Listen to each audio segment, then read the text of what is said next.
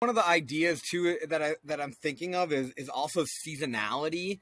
So like you like mm-hmm. in the idea that you're not separate from your environment, like you are literally made up of like stardust and the animals and the plants that you eat and the air that you're breathing and the water that you're drinking.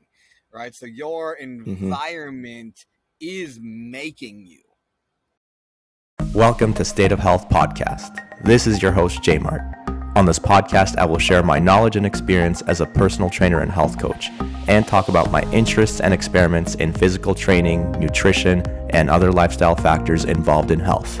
On this episode of the podcast, I am joined by Kyle Koch, aka Trotting Sparrow on Instagram, to talk about the benefits of bringing your movement practice to the outside world.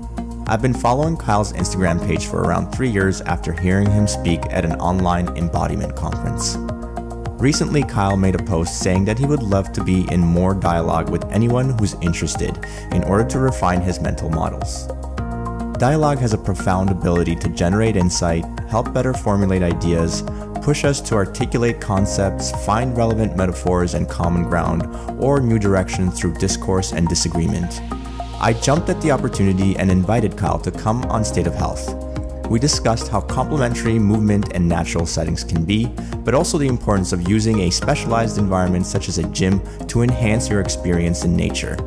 An important concept that Kyle also shared is the seasonality of training and how he affords the changing of seasons to inform his personal movement practice. We finished off the conversation with Kyle explaining how to sit spot, the main core routine of nature connection. So if all that sounds interesting, then this podcast episode is for you. Just before we get started, this is a reminder that you can get started with my free bodyweight training program, Body Basics, which requires no equipment by going to subscribepage.com slash bodybasics. Also, if you're watching this on YouTube, don't forget to smash the like button for the YouTube algorithm, hit subscribe if you like the content, and hit the notification bell too. If you're listening through a podcast app, could you please share the podcast with a friend who may also enjoy listening and discussing it with you? All right, here's the episode.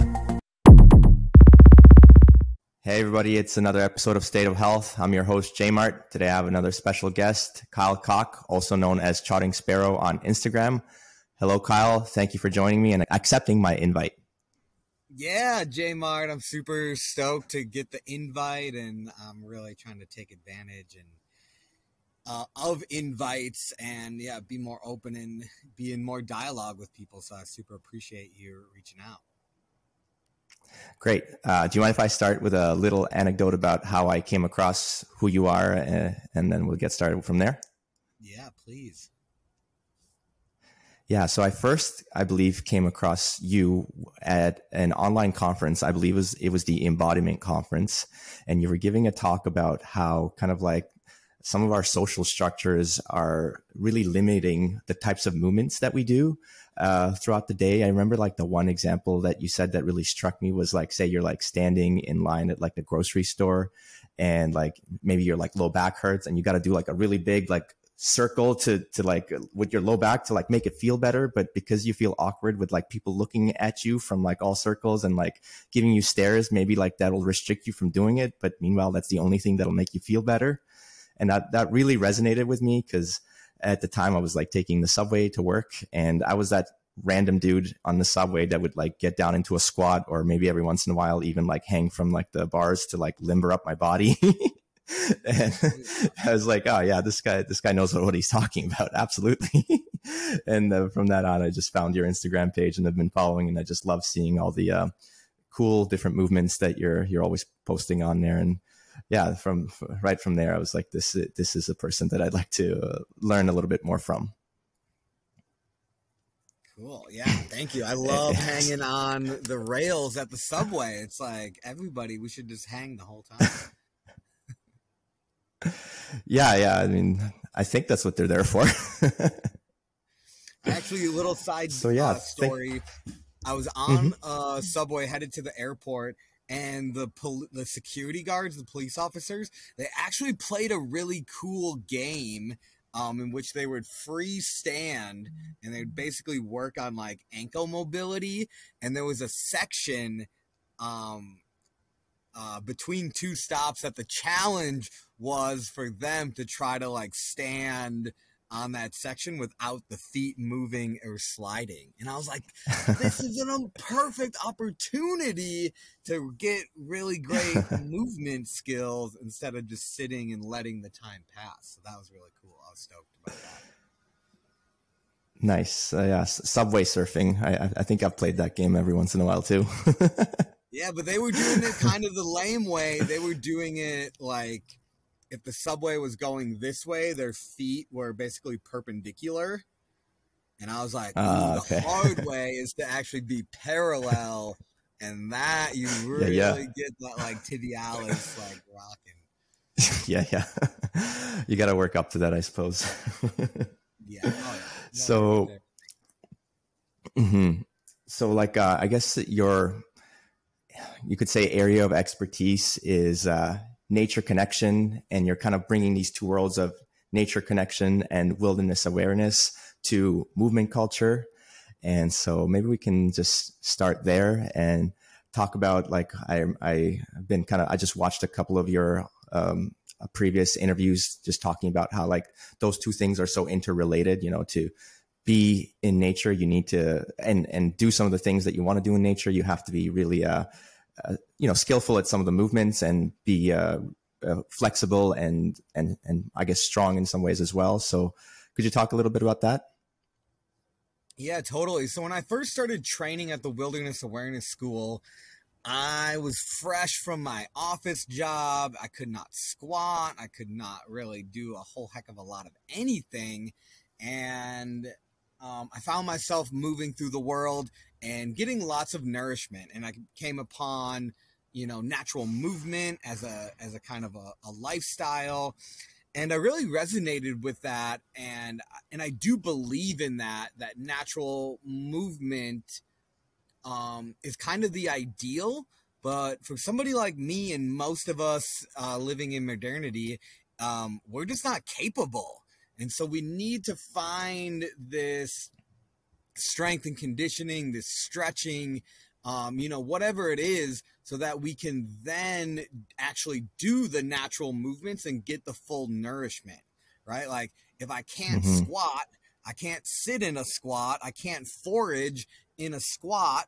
So I need to go and work on my hip flexion, my dorsiflexion, whatever it is that's limiting my squat and so I like this idea of going back and forth. Like when I was a personal trainer at the gym, I would ask people like, how do you know what to work on?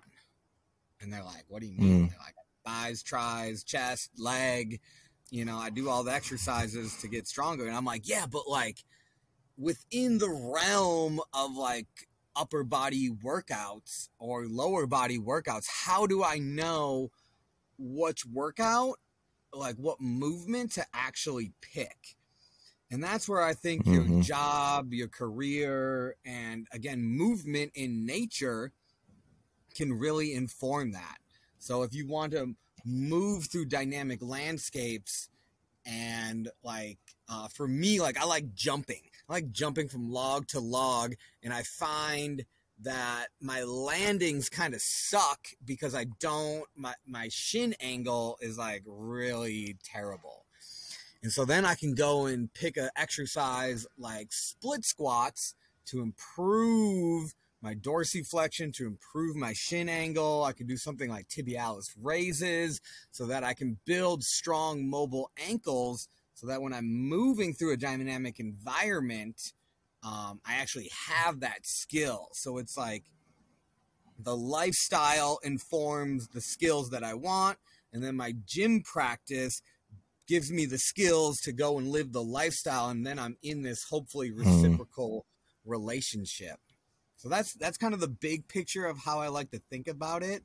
Um, is that my movement and what I want to do informs my workouts, and my workouts allow me to do the thing that I want to do versus just being like good looking and strong and fit. yeah. Yeah, that's very similar to how I think about it as well. Um, I like suggest clients to you know, pick an activity that they really enjoy doing because that's going to be their why. They're going to be like motivated to do it and they're going to be really, you know, actually getting physical, actually getting active and doing those things.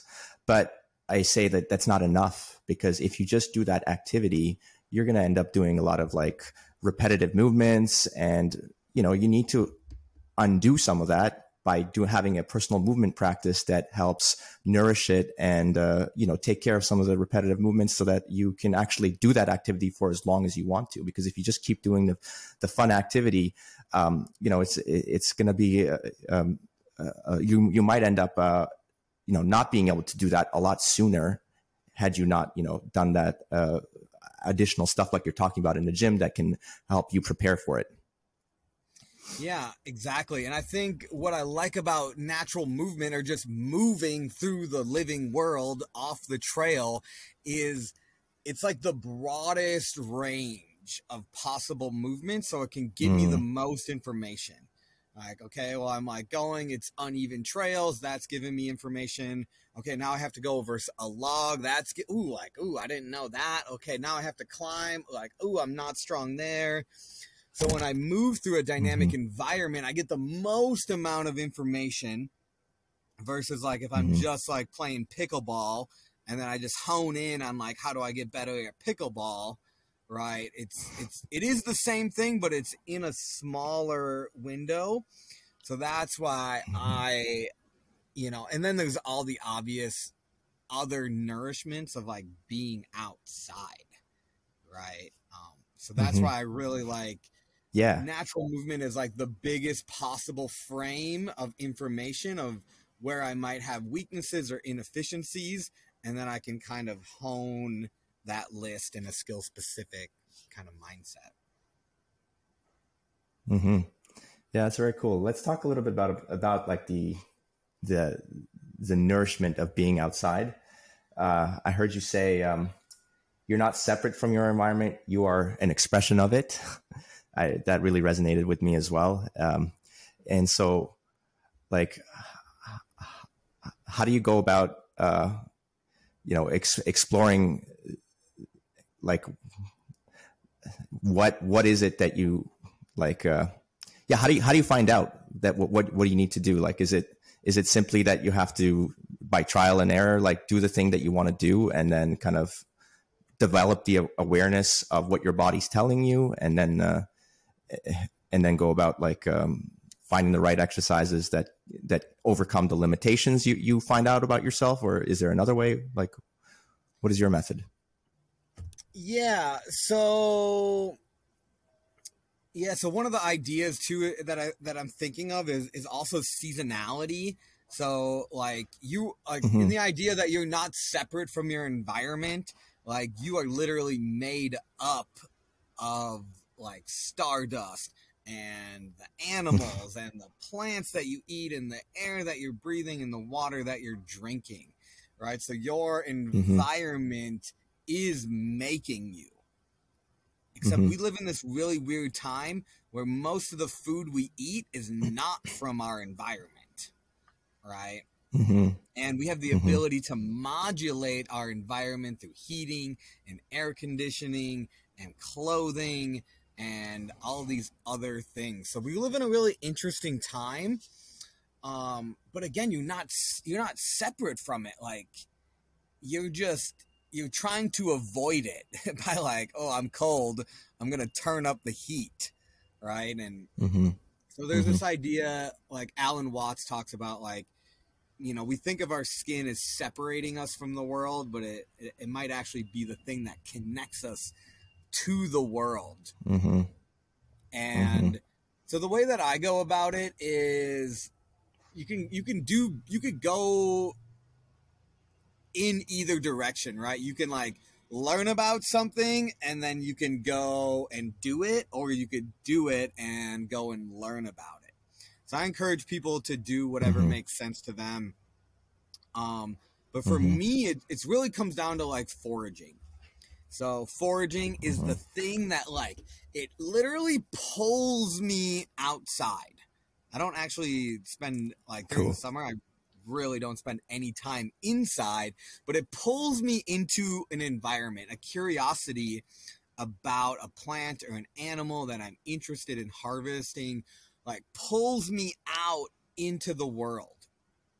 And it pulls me into new environments that shows me what skills I have and might not have. So recently I went out and I was foraging cranberries. So I got to go to this like beautiful floating bog, um, all this stuff. But I hurt my knee. I think I have like a partial or a sprained ACL injury. And I'm like, wow, like I I can't squat. I can't bend my knee. And so I'm doing um, a lot of like kind of like forward folds, right? And I'm like, ooh, mm-hmm. my hamstrings mm-hmm. are tight. I'm like, okay, like mm-hmm. kind of like mm-hmm. gathering this information. So then, like when I go home and I want to stretch, I can be like, ooh, I need to work like my hamstrings. They were tight um, in this activity. I'm also like wearing a neck bucket, like feeling I'm progressive loading. Um, Mm-hmm. So I'm getting all these kinds of nourishment. So when it when I go into an environment, I get information and then I realize if I want to continue to go mm. into that environment or be better suited for that environment, then I need to actually take that information back to the gym or the workout or the weight room, whatever mm-hmm. it is, whatever you do. Mm-hmm so it's it's all about developing that uh, awareness, right? Like um, you have to develop the awareness, be able to observe, and then you can like realize and develop uh, like respect for your body and understand the things that are required for you to achieve the things that you have in mind for like the goals that you want to do, such as foraging. Um, yeah, right. Like so, you, you know how you don't know that you're sore until you like move it's kind of like mm-hmm. that. Like if you don't ever move, you're like, oh, I worked out yesterday. I feel great. And then you like go to like mm-hmm. reach up into the cabinet and you're like, oh, okay. I'm that's where my soreness is. So it's a little bit like mm-hmm. that. You don't know until you, you know, do something that, you know, illuminates it. Yeah. So you got to sensitize yourself to the environment by actually getting out there and then you got to be humble and respectful enough to like be able to observe the information that the environment gives you through uh, whether it be like what you're feeling internally or it could be i guess what you're seeing externally as well like uh, you know just uh, whatever cues the the nat- nature's giving you i guess uh, and that got, I guess gets gets back to seasonality. I guess the diff, you know the environment changes throughout the year, different seasons. There's different things to be doing. Um, is uh, like so. What? How do you go about like uh, structuring your um, your training based on like the different seasons? Is it like uh, just based on what activities are available to you, or is there something else? Yeah, a little bit of both, right? So most of us humans here that are listening to this probably live in the northern half of North America. And we have a thing. It's called mm-hmm. winter. It is late, but it mm. shows up readily to kick your ass. And mm-hmm. you can be prepared for it, right? So there's a word I don't know it, but there's a word in the Swedish and Norwegian culture for the cold training that they do at this time of year to prepare your vascular system and your brown fat and your mind and all of the system mm-hmm. to be better adapted for cold weather. Right? People just like sit in their 70 mm-hmm. degree mm-hmm. homes you know, regardless of the temperature outside. And then winter comes and, you know, they just bundle up. But you could be preparing for that, right? And so for mm, me, absolutely. like I'm in the river every day right now. Every day, every day. I walk down to the river, I go in the river, and then I walk up my hill backwards. And I get some good blood flow into my knees. And yeah, that'll pretty help. soon I'm gonna start my strength training And so for me, mm-hmm. like I have like a, a seasonal practice. So the way that it looks is this time of year, I am reflecting and integrating all of the things that I've learned or tried throughout the year. like, ooh, I heard about this thing and I learned about this and da da da da da. And I'm trying to boil those down to like the essence of what I think mm-hmm. I can eh, practice, right? Because if you don't do mm-hmm. anything, mm-hmm. it doesn't matter. So I don't need to do it at this like mm-hmm. crazy high level. So for me, I've been mm-hmm. really inspired by Andrew Huberman's work and uh, Huberman Labs mm-hmm. and the whole so like cold mm-hmm. training and circadian rhythm right this idea that mm-hmm. the light and temperature is dictating your entire hormonal processes to even have motivation to do a workout and we have about 10 days yeah. left probably less by you you're a little further north than me where the vitamin mm-hmm. D and all of the benefits of the sun are going to go away. right? Absolutely. Yeah. And the darkness mm-hmm. is coming and we actually produce more melatonin throughout this time period.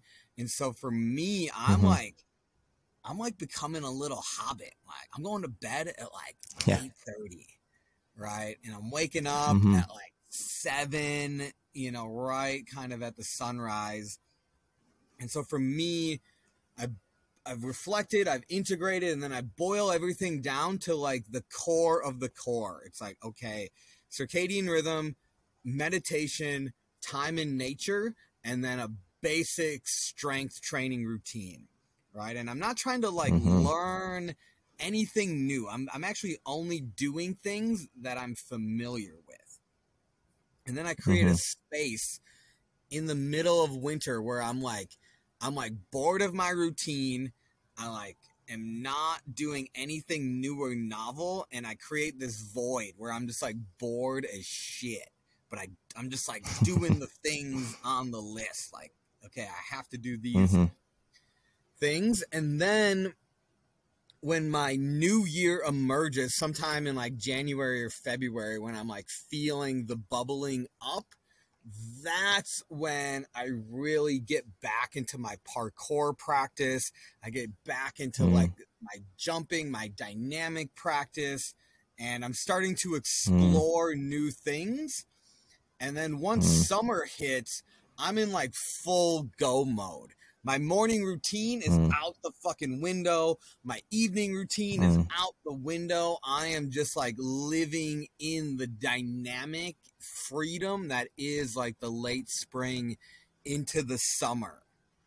And then mm. again, and then I'll learn lots of new things. I'll like try different. Oh, that. Oh, cool. I'll, let me try that. Like, oh, cool. You got this plyometric mm. workout. Like, let's do that and then I'll kind of mm. explore mm. all of these things in a very disorganized way before I come back into the fall and kind of rein it back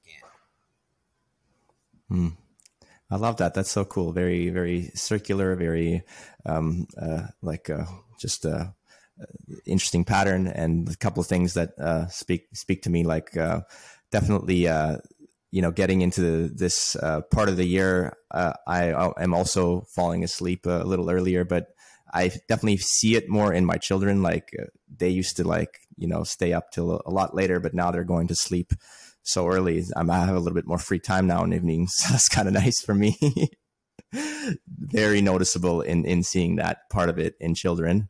And then I like what you're saying about, uh, you know, just boiling it down to some of the basics and then just repeating those over and over again. So like I like I like the fact that you're talking about the base, you know, just getting to the what is the essence of it and you know, because a lot of times the advanced thing that everyone thinks is cool, it's just the basic really mastered so well that like it looks advanced.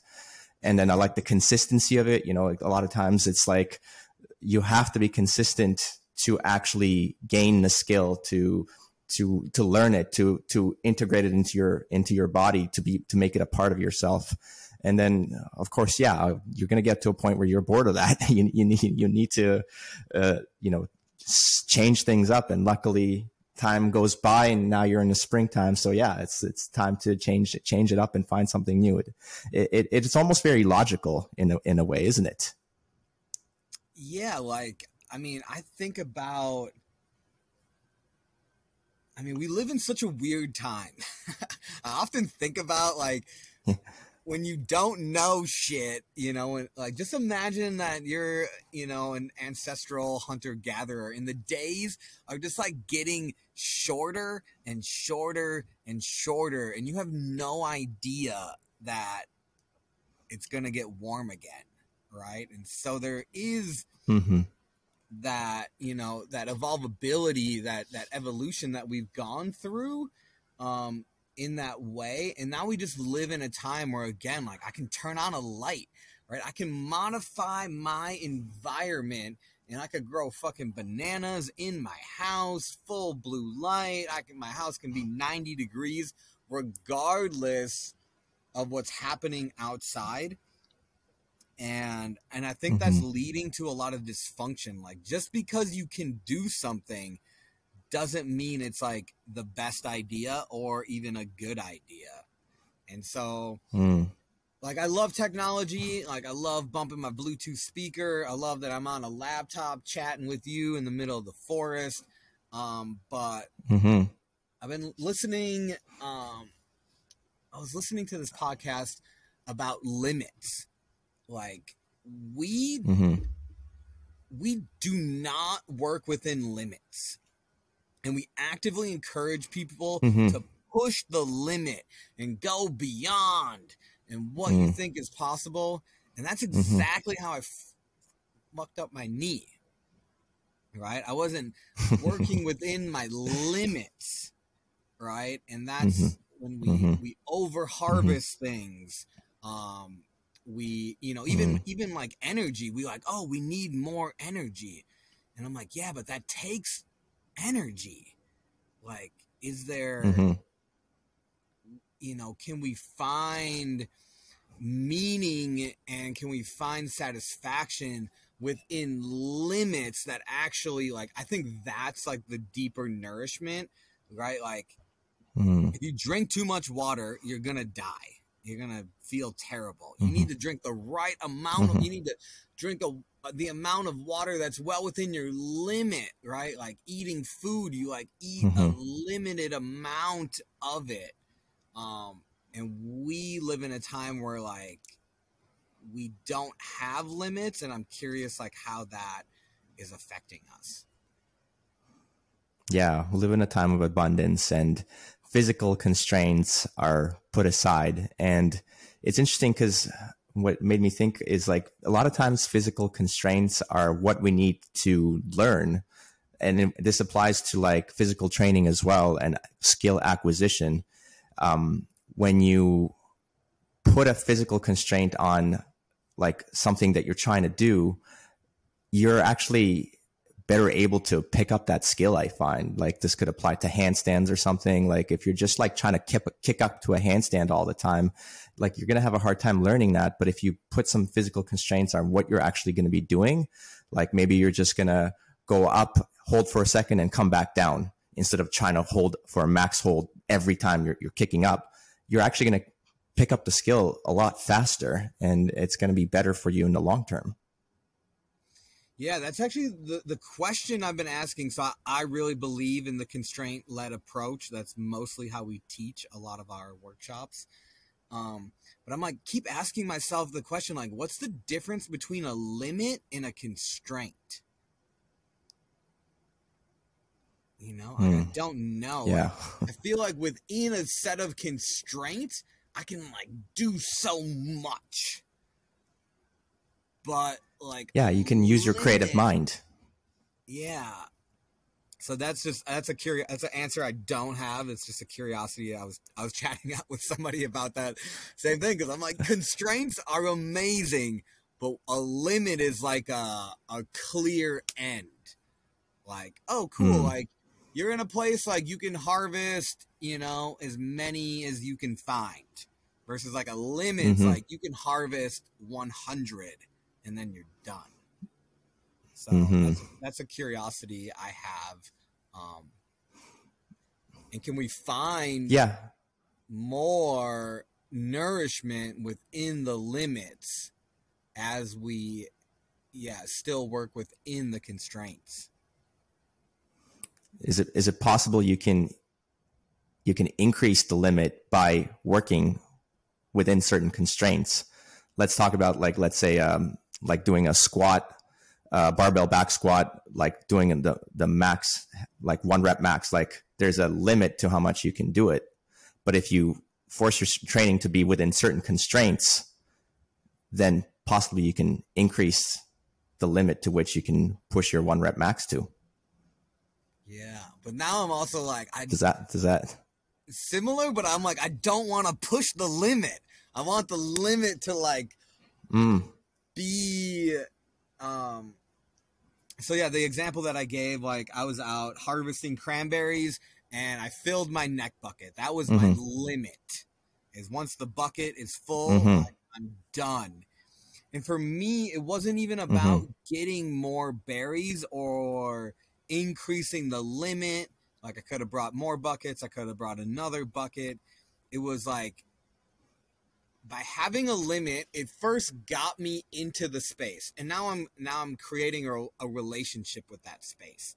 And once the limit was reached, then like me and my friend like we took a nap and we went swimming and so we were getting all these other forms of nourishment and creating more meaningful relationships with the other parts of that mm. space so by like have like mm. once I reached the limit, then I was actually able to like deepen into the experience versus like trying to get more um you know, oh, I need more berries. I need more. I could sell these. Like, oh my God, I should cultivate these. Like, no, like I have the limit, so then I can actually deepen into the, the thing that's nourishing, and that's the meaning and the relationship. Um, Mm-hmm. So I would think about that even yeah. in like the gym. Like, cool, I've reached my limit, and now I can like chat and hang out, and well, you know, like again, mm-hmm. deepen mm-hmm. into it versus trying to do more. I guess that's how I relate to that. Yeah, absolutely, and maybe let's like relate that to health a little bit because, uh, like, yeah, if you, you if you're maxing out the limit every time then um, it's almost like you're burning the candle at both ends kind of deal. And you know you're, you're gonna you're gonna run out run out sooner. And so it's not the best thing for your health necessarily to be reaching that limit every time right? Like uh, whether it's uh you know pushing like extreme in- intensity every time you're working out like you're just gonna wear yourself out. You're gonna get to a point where you know whether it's you cause an injury or just just get demotivated uh, psychologically because it's hard to keep pushing that intensity so hard every time right? Yeah exactly. Like most people i would argue are under recovered right people prioritize like working out and intensity and but most people are like, you know, like just go to bed a little bit earlier. Like your sleep is incredibly important for you to even get the effectiveness of your workout. Um, mm-hmm. things like that. So that's where I like um really want to like drive people and, and like that's all like the nourishment, right? Like being outside is so nourishing to your hormonal system, your mm-hmm. neurotransmitter system. You're picking up electrons. You're you're putting yourself in a sympathetic state, right? And so I think, like, yeah, I think that's why I'm really like the the broader spectrum and i think most people can get a lot of benefit you know spending one day in the gym doing uh, a more specified workout and just spending more time walking and being and nourishing the other parts of their health, right? Mm-hmm. Like, Do you think that's like a missing key, missing link in people's like, uh, uh I don't know, I guess uh, goals for for improving their whether it be like physical well being, mental well-being is is that a missing link? In like you know we think like oh because humans are sedentary now we need to force ourselves to go to the gym to get like this movement in. But is is the gym really the the best environment for for for accessing that? Yeah it's like you know it's it's a great tool. And and i think we're mm-hmm. confusing mm-hmm. tools with crutches right it's like my smartphone like it's an amazing mm-hmm. tool mm and it is also like ruining my spelling and draining my dopamine distracting me like shoes amazing tool when i put shoes on i'm amazing i can jump and flip and run and go across rocks and mm-hmm. i don't want to i don't want to not be able to do anything when i take my shoes off right? And i think mm-hmm. that's the confusion is like people think right like Katy Bowman has this really great idea of like you have workout clothes okay? And then that means if you have workout clothes you have not workout clothes. So you have funneled all of your movement and health and you have put it into the hands of the gym, you basically like have foregone your responsibility. Like if the gym closes, like what are mm-hmm. you gonna do? Right? Like during mm-hmm. COVID, mm-hmm. like all these people are like overweight and all of their movement outlets have been taken away from them. Mm-hmm. Yet nature's just like chilling the whole time, like, hey, like you can come out mm-hmm. inside. It's pretty safe. Um, mm-hmm. So that's why, again, I like a movement rich lifestyle where you spend a lot of time walking and moving in mm-hmm. dynamic terrains. But mm-hmm. because of the world we live in, like you do have to go to the gym or in order to expand the possibilities because like I like natural movement's just not going to do it for you because you're mm-hmm. so compromised, right? That you need mm-hmm. to work out mm-hmm. to, to, move the needle. But mm-hmm. again, their reciprocal mm. relationship and and I think of like I was super resistant to going to the gym for a long time. I'm like, dude, I can get everything I need in nature. And I was like mm-hmm. plateaued. I was had some like elbow tendonitis, some like knee stuff going on. And then I went to the gym. I did like 12 weeks in the gym and I was like, I'm a beast. Like I can and then I went back to my natural movement practice. I'm like, I can jump farther. I can like uh, run faster. I can squat. I can move in low gaits. It was like all these things were hmm. revealed hmm. to me and my affordance in hmm. the landscape increased. And then that made me want to go to the gym, right? And it's like, I don't like mm. this thing, but when I do this thing, it affords me all of this opportunity for meaning and nourishment in my environment. And so that's where mm. I think, um, like you said, mm-hmm. having the thing, like what is the why? And my hope for mm-hmm. people mm-hmm. is their why is just getting outside and being able to interact mm-hmm. with the mm-hmm. living world. And it doesn't have to be tied to a mm-hmm. sport, doesn't have to be tied to a, a, a specific thing. It can just be like, I actually just want to like walk around and look at the world and interact with it. Like that would be like my basic. Mm-hmm. Yeah, absolutely.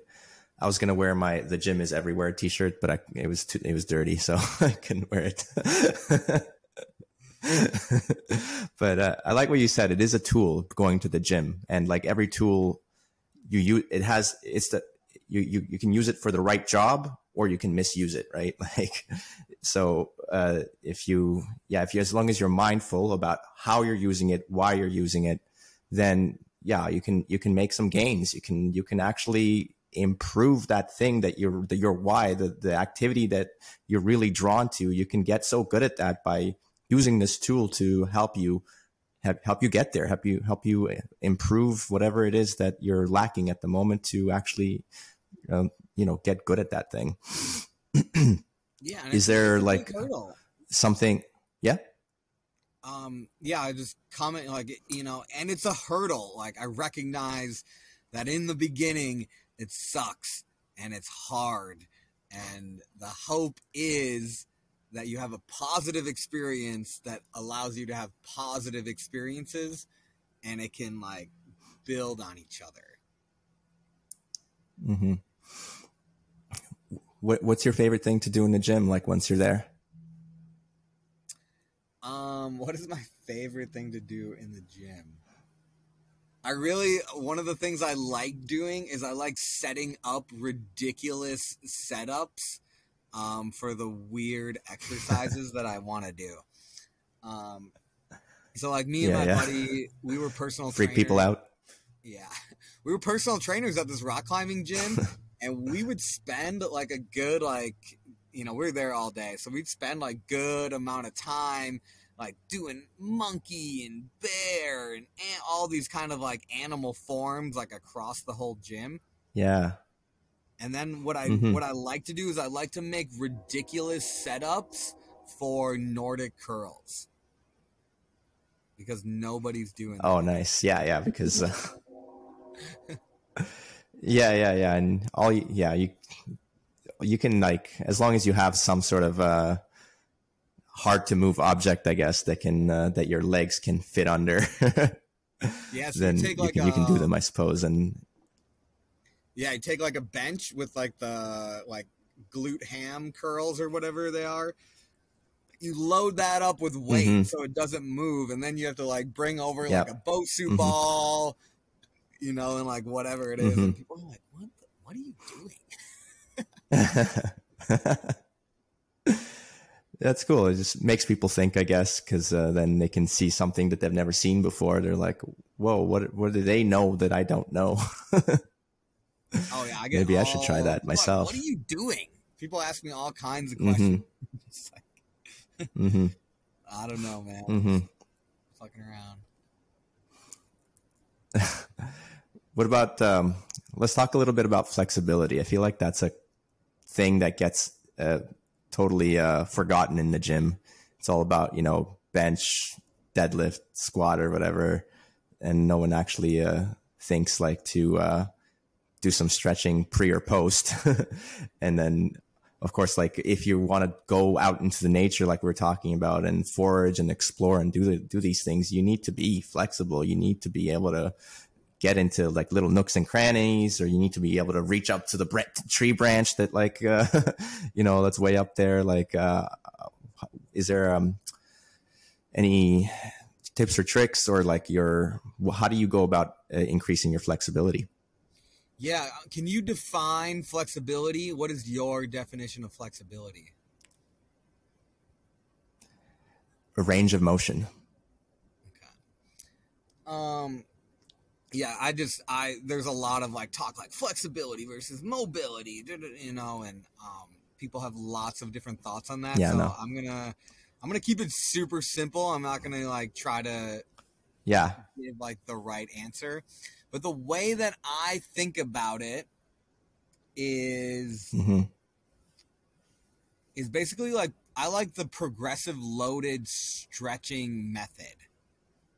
So this idea yeah. that I'm going to use weight to help me get into a further range of motion that I might not be mm-hmm. able to get into otherwise and then I'm going to exert yep. force or demonstrate strength at that end range of motion so that I can get out of it. Mm-hmm. So like mm-hmm. a lot of people think about like like passive stretching and like I think stretching is great. So there's like there's passive stretching, there's dynamic stretching, there's proprioceptive neuromuscular facilitation type of stretching, there's um what's the like um, when you like bounce. What is that called? Um, ballistic stretching. Ballistic.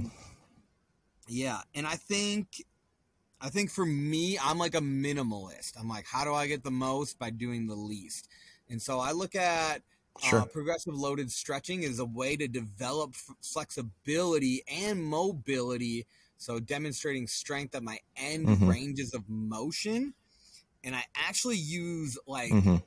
more traditional style stretching in the evening as a way to relax mm-hmm and be in relationship mm. with my nervous system. I don't I don't do it to mm-hmm. get more flexible. I do it to like mm-hmm. just know where my limits are or how my body is doing mm-hmm. um or not mm-hmm. doing. So yeah, so like um you know, split squats a great example. I'm getting I can use weight or elevated front foot to get me into the deepest range of motion because I have shitty dorsiflexion and I just mm-hmm. can't get there unless I load up like half my body weight in some dumbbells and mm-hmm. elevate mm-hmm. my front foot six inches. All of a sudden, now I'm getting into a range of motion that I can start training in. Mm-hmm. Um, Mm-hmm. And so that's how I think about flexibility is like, how do I get stronger at my end range of motion with a weight so that when I don't have a weight, then that range of motion is like really easily accessible. Yeah, very cool. That's very similar to how I think about it as well. Uh, yeah, I've, I've uh, started to use my kid as the weight, like to, so if I'm doing like a forward fold, I'm like, hey, get on my back, kid. there's that. And then also like what you said i do like using uh, stretching as a as an assessment tool uh, mm. like and and a relaxation tool. So you i do use it in the end of the night to relax a little bit and assess where am i at? Am i feeling good in this position? Am i feeling more uh, stiff than normal? Or is this all of a sudden oh whoa look at that. I'm all of a sudden able to reach a little bit further than i'm than i used to. Oh i must that that uh, loaded stretching might, must be working. Mm-hmm. Um, yeah, so it's a uh, it's this very cool, versatile tool that could be used in so many ways uh, and is oftentimes forgotten in the gym, unfortunately.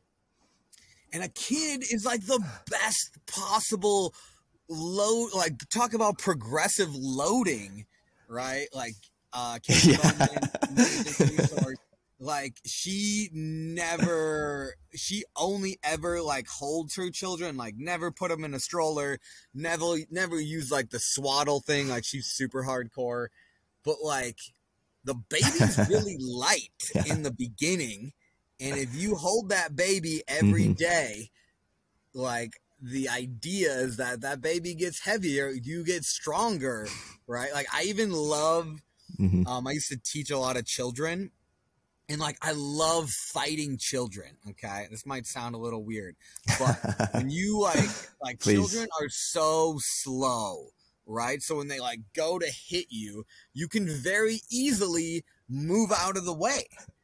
But as they yeah. get incrementally older, you ha- your skill has to go up with that. And yeah, I yeah. think like I think about that um like historically is like that like raising a child was the most natural way to both improve in skill and strength at like the most perfect time probably. I would imagine like the way a child puts on weight is like somehow there's a, probably some science out there that's like actually if you look at the strength curve and you look at the amount of weight a child puts on growth curve. years, there's like a there's like a, a symbiotic relationship in that. Yeah that's that's the whole uh, myth of Milo right? The the uh, Milo got stronger by carrying his calf every day, and the calf turned into a big bull at the end of it. And Milo was super strong when uh, he had to carry the bull because he got uh, progressively. Uh, that's the that's the whole myth behind progressive overload, right? The, the that's how exactly. I like to tell the story to my clients, anyway. Hmm. Um, yeah, exactly. Like that. Oh, like I feel so. I don't know if it's like bad. Like when I see people like who like pawn their children off, um, I'm like, dude, like a child is such a great training partner. Um, maybe not your child mm-hmm. is the best for you, but again, I think I think there's something in there and something missing. Because like when I go to the playground and do parkour, all the kids stop and look at me. And they're like, whoa, like an adult is doing something I don't see adults do. And it like piques their curiosity. And again, we can be in right relationship with that. Um, we're like, wow, like I'm really good because these kids kind of suck. So I feel better about how good I am mm-hmm. versus if I'm always comparing myself to like Instagram and other adults, then I'm like, wow, I suck and all these people are really good. So there's like a leveling there with age um, that I think is like really humbling and really just natural. Mm-hmm. Um, I think we should, mm-hmm. yeah, lean into that a little bit more. Mm-hmm. What drew you to parkour? Um, so when I was doing all the natural movement stuff and moving through the woods, I was like, this is cool, but like, I don't have skill. Parkour to me was like the skill of moving through the woods and in the most efficient manner and and really fun. And so, yeah, as I, I was training in the woods, I was doing all these like games and animal forms, and I was learning about this. And parkour was like, oh, this is how you do it at high level. Yeah, it's integrating the skills into like a codified almost manner, I suppose.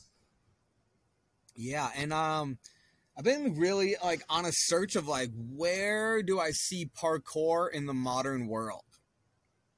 Um, mm-hmm. and so like I've worked on farms, I've worked construction, I've done a lot of different jobs, and like getting in and out of a truck, step vault, right? Like, um, putting in a hardwood floor, yes. monkey form, mm-hmm. right? Mm-hmm. Like being able to like go up, over, down, and under and through things, um, like scaffolding in housing and all these things that like I find I find parkour in more places or it, it gives me more options. Um, mm-hmm. So I mm-hmm. think parkour is like actually makes your brain work. Sorry, what was that? really makes your brain work, I guess. Uh, like seeing all these uh, options that are available to you uh, when you're, you know, just doing your day to day activities, and then uh, you're like, okay, I could, I could just do this like a regular person, or I could, you know, just uh, practice real this real cool skill and like integrate it into my day. Yeah, and that's kind of how I feel right now. So like when I was working a carpentry job, I was doing parkour all the time, right? In in all of these little ways on the job site. And now that I have this knee injury, I feel like a regular person.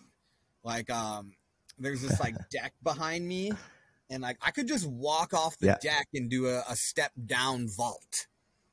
Right? And so I can it's easy for me. I'm well practicing it, but because of my knee, I actually have to walk around and like take the stairs. Um, so that's mm-hmm. where I mm-hmm. see like parkour's ability to enrich your life because it gives you mm. way more options for both like efficiency mm. and then opportunity to interact um, with the world around you. Mm-hmm. Yeah, and I think of like that really applies to movement in general, all sorts of different like uh, styles of movement. You could say like it's just you got to look out for it and see the opportunities when they present themselves. Like, um, you know, you just a basic example, like you could uh, just put your socks on normally, or you could single leg balance while you're putting one sock on, then switch sides and single leg balance on the other side while you're putting the other sock on. Like, why not do that? it's like then you're just uh, you know you're doing a little bit of training while you're doing your day-to-day stuff that you would be doing anyway and you know then maybe you don't have to spend as long in the gym doing that Yeah, exactly. And again, a movement which lifestyle, you know, I would love to have a job one day where I help people like build their home and design their home that is actually conducive to their health versus like having huge detriment on their on their health. Like people build the mm-hmm. most ridiculous houses that mm-hmm. and spend money in ways that is like is really you could just modify a little bit. Like it doesn't even cost it cost you less money probably, but you could have a super mm-hmm. cool house that actually mm-hmm. allows mm-hmm. you to be the most functional version of yourself that cuts down on your gym time, increases your mm-hmm. lifespan, your longevity, your general quality of life.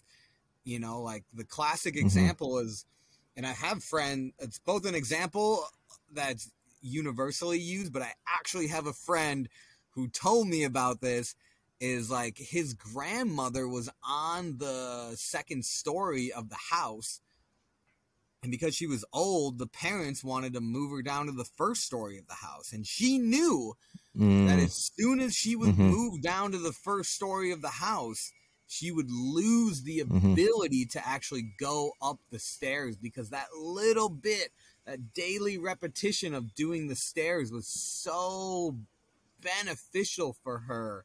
Mm-hmm. Um, and I would love Absolutely. us to see like slight. It would be like I want you to slightly inconvenience yourself for the betterment mm-hmm. of your longevity and physical health, right? Like stairs. Yeah. You know, climbing in like people who have to climb a ladder to get into their bed, right? Like whatever, whatever it is, you know. Um, mm-hmm. like just put monkey bars everywhere in your house. Oh my goodness! I have I don't know why people don't have monkey bars. It's so crazy. Like as a kid, monkey bars. Like every kid can do monkey bars, and then when you become adult, you suck at monkey bars. Mm-hmm. I'm I'm trying to convince my wife to like let me hang some rings from like the second floor down to the first floor where the stairs start. I mean, I bet you put like I don't know how old your child is, but I bet if you put that baby on the rings, that baby can hold itself. My three-year-old can hold himself from the rings uh, for sure. He's uh, he's having fun swinging back and forth on them. Right, but then you have like eighty percent of thirty-year-olds can't do that. So that's like again like. Mm-hmm maintaining it for as long as possible, but then we've lost it. So then we need to access the tools to get it back, right? Um, and that's mm-hmm. again, a baby's always mm-hmm. crawling, kids are crawling, moving in low gaits, squatting. So we've lost it. Yeah. Now yep. we also have tools to get it back, and that's really the big encouragement um, for people is like mm-hmm. it's okay that you suck. Like it's not your fault. like we don't we're not mm-hmm. shaming you. It's okay. We've all been there. Like I was a software guy for like three years. I still have a terrible squat, mm-hmm. but you can mm-hmm. get a little bit better by using the tools and the resources that are available to you. Yeah, I was there too. I was uh, I had an office job and uh, I was sitting so such a large portion of the day, had weak grip strength. One time I got out on the monkey bars, I couldn't make it across. It was such a wake up call for me. I was like, "What are you doing?" and uh, yeah, turned it around since then. Thank God. But uh, yeah, it's a common story, and like I what I really like love about you and your story is just like the integration of all this movement culture with the nature connection and, and wilderness awareness. Maybe we can just finish finish off with that a little bit. We're coming up on an hour, and just like maybe could you talk to me a little about um, nature connection and like what I, I guess maybe I think if I ask you like what is the first thing someone should could do to um, to be what, more better connected with nature, you you would say like just get out there and uh, and just observe, right? I think you you call it sit spot. Maybe could you could you tell me a little bit more about that and like like what what is your mindset when you're sit spotting? Are, are you like because a lot of times people will have like all these thoughts going through their heads like their to-do list they're they're like you know like how, how do you go about doing a sit spot? Totally. Thank you. Um so yeah so what i teach is what i call is what i was taught is the core routines of nature connection so there are routines that we find in place-based cultures all over the world that everybody does in some way. They all track animals. They all forage for plants. They all tell their story around a fire, right? They all sing. They all dance. They all have an interactive movement practice. And at the core of that is sit spot. Sit spot is this idea that you just go outside and you sit and you observe. It's kind of like it's kind of like TV, except you don't get to choose what you get to watch, right? Yeah. And yeah, so like even it can be on your porch, right? You want to I want to make it super easy. Like people are like, "Oh, I have to like have the perfect sit spot. It's down by a river with a cedar tree on my back and I can see it's south facing, it's in the sun." Da da da da. Um, I have people who have sit spots in the city. I've actually seen the most wildlife in the city raccoons, mm-hmm. foxes, bobcats, um, all kinds of predatory hawks. I've seen the most amount of wildlife in the city.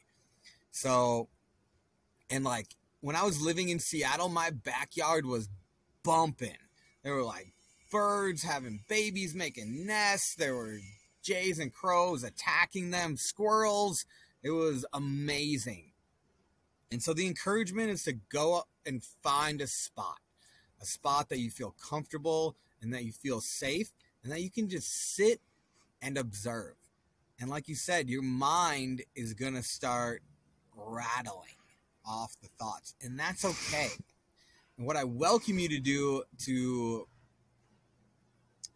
calm that down is to pay attention, is to start noticing what can you notice? Like, are there any trees around you? What kind of trees are those? Maybe you don't know. You can just start asking questions like, oh wow, like I, I don't actually know what this little plant is. Or oh, there's a bird. I wonder what that bird is. I wonder what it's doing. And there are ways to find out. Sometimes just watching and listening is going to help you find out. Um, and what I do is I take people through sets of practices to help them find out in kind of a more specific way. And the other thing that you can do at your sit spot is you could sit there and just express gratitude. Mm. wow, like I'm yes. really grateful for the trees and all of the oxygen that they give me. Like, wow, I'm really grateful that I live in a place where I can see birds. And you can just look around and you could spend that whole time offering your gratitude. You can spend that whole time asking questions like, what can I smell? What's the furthest sound that I can hear right now? What's the closest sound? Are they the same? Right? And it's really about being curious and following that mm-hmm. curiosity and that informs you about your environment like oh like are those berries edible and then maybe you look it up and mm-hmm. you find that they're edible and then you harvest them so mm-hmm. going to your sit spot and starting to learn about your place who are the plants and trees and birds and beings of my place versus like out there. And you can just start and fill mm-hmm. in that little world with as much detail as possible. And it will have massive benefits for your mental health, your general well being, and your connection and your stories that you have with that place. That's ultimately for me, mm-hmm. stories are the most nourishing thing that when I go to a place, I'm like, ooh, I when I was here, I like harvested mushrooms, or I found a little junco nest living in my backyard, or ooh, I saw a Steller's jay actually mm-hmm. eat this little chickadee, or a hawk killed a squirrel at my sit spot. It's like in the same way you talk about like what happened at your work or what happened on the TV, you want to have that relationship about your sit spot and you want to share those experiences and all of a sudden you create a high resolution image of your local place mm-hmm. that is deeply meaningful to you and all you did was just sit and observe mm-hmm.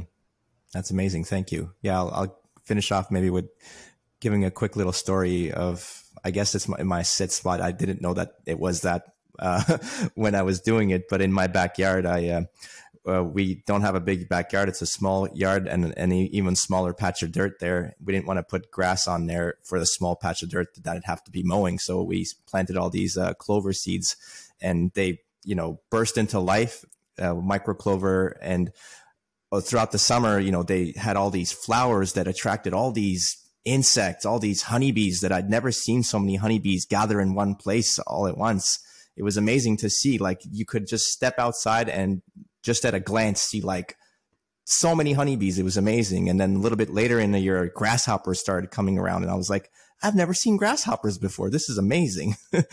yeah, so it was, it's just uh, I didn't realize I was sit spotting, but I, I was, uh, and uh, I didn't. Yeah, until I heard you talk about it, I guess. but yeah, yeah so thank you, you for story and that relationship, and that's like, oh, mm-hmm.